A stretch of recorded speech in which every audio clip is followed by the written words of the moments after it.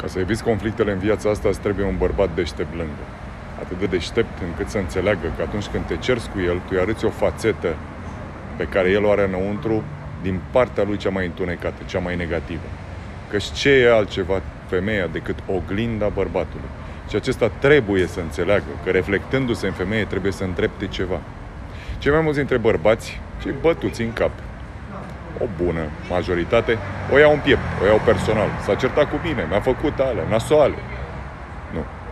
Nu-i vorba despre asta. Trebuie să accepti că partenerul, bun, rău, chior, șchiop, există în viața ta ca să-ți arate fațatele pe care tu nu poți să le dezlușești singur. Deci cine are acea mare putere să-și vadă monștrii dinăuntru? Și nu, nu-i nevoie să apelezi la psihologi. Uite-te atent la femeia de lângă tine și o să înțelegi toate dedesubturile sufletului tău.